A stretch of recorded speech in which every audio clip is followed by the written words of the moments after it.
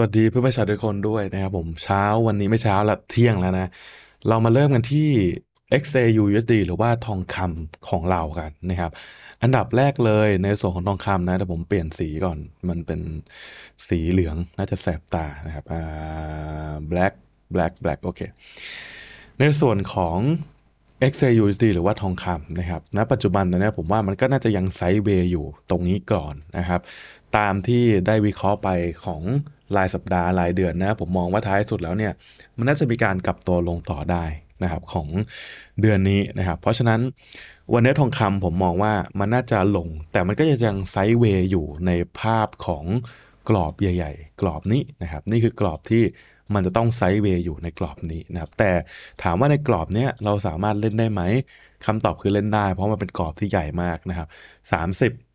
40 นะครับ ซึ่งถือว่าเยอะมากๆในการเล่นในโซนนี้ ถ้าสมมุติว่าเราเซลล์จุดนี้ลงมาถูกไหมก็มีโอกาสทำกำไรได้เยอะมากนะครับ ประมาณ 3 3,000 4,000 จุด ซึ่งถือว่าเยอะมากๆในการเล่นกรอบนี้นะครับคำถามคือเราเล่นจุดไหนดีนะครับ ในส่วนของทองคำผมมองว่าวันนี้มันก็น่าจะมีโอกาสที่จะวิ่งลงต่อได้ นะครับเพราะฉะนั้นสิ่งที่ต้องการเลยคืออาจจะรอให้ราคาเนี่ยมันมีการกลับตัวขึ้นมานิดหนึ่งเพื่ออาจจะมา retest โซนตรงนี้อีกทีหนึ่งนะครับหรือไม่ก็อาจจะมา retest โซนตรงนี้ที่มันเคยทิ้งไส้ไว้อีกรอบหนึ่งนะครับเพื่อหาจังหวะลงต่อนั่นเองเนาะจะเห็นว่าตรงเนี้ยมันมีการทิ้งไส้ไว้ ผมว่าน่าจะต้องมาแตะตรงนี้อีกทีหนึ่งเพื่อหาจังหวะ sell ลงต่อได้นะครับเพราะฉะนั้นภาพที่ผมมองไว้นะ ก็อาจจะเนี่ยครับรอให้มันวิ่งมา แตะไส้ตรงนี้อีกทีหนึ่งเนี่ยประมาณโซนเนี้ยนะครับ ซึ่งภาพในหนึ่งชั่วโมงก็จะเป็นทรงนี้ก็คือ ราคา มันจะเดี๋ยวนะผมหาลูกศรก่อน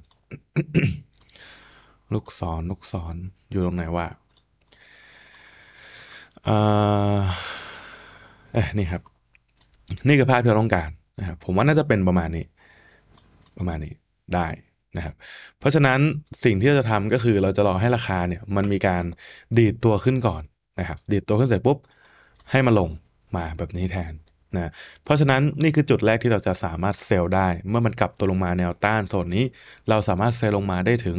โซนข้างล่างตรงจุดนี้เลยนะครับหรือถ้าเกิดไม่ทันเราอาจจะมาเซลล์อีกทีนึงจังหวะมันทะลุตรงนี้ก็ได้ ผมว่าก็น่าจะเป็นจุดที่เล่นได้เหมือนกันแต่ตรงนี้เสี่ยงมากเพราะนั้นผมไม่แนะนำแล้วกันเนาะอันนี้ทิ้งไป นะครับจุดที่สามารถเซลล์ได้จุดแรกข้างบนตรงนี้ กับอีกจุดหนึ่งจะเป็นประมาณตรงนี้ครับถ้าเกิดเราพลาดนะ เราสามารถเซลล์ตรงนี้ได้อีกจุดหนึ่งที่2 3 1 7จุด897 2 3 1 7จุด897นะครับตรงนี้กับข้างบน2 3 2 7จุด835เนี่ยครับนี่คือจุดที่เราสามารถเซลล์ได้2จุดนะครับรอราคาทำเฟกเอานะนี่คือสิ่งที่เราต้องการนะครับ เพื่อหาจังหวะเซลล์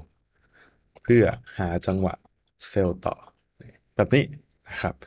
นี่คือจังหวะที่เราต้องการนะทีนี้ของ GJ นะครับของ GJ เรามาดูที่ time frame รายเดือนเราเฟรมรายเดือนเหมือนมีโอกาสที่จะวิ่งขึ้นต่อได้นะครับ weekly ก็ดูทรงเหมือนจะดันขึ้นต่อแล้วเนาะ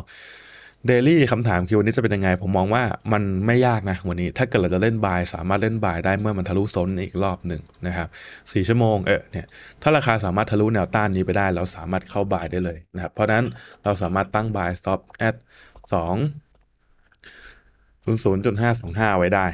นะครับตรงนี้ เราดูหนึ่งชั่วโมงนิดหนึ่งสิหนึ่งชั่วโมงก็น่าจะสามารถบายตรงนี้ได้นะครับคำถามต่อไปคือซับลอสอยู่ตรงไหนผมมองว่า ถ้าเราจะเล่นแบบไม่เฝ้ากราฟนะซับลอสที่สุดก็คือน่าจะประมาณแนวรับตรงนี้นะครับส่วนดีพีที่สุดก็คือน่าจะประมาณนี้หนึ่งต่อหนึ่งหนึ่งต่อหนึ่งจุดนี้นะครับ แต่ถ้าเกิดฟื้นๆหน่อยก็ข้างบนเนี้ยผมว่าได้อยู่หนึ่งต่อห้านะครับ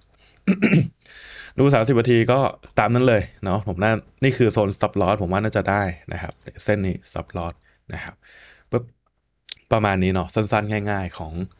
2 คู่เงินนะครับ เดี๋ยวเจอกันใหม่วันพรุ่งนี้ครับ สวัสดีครับ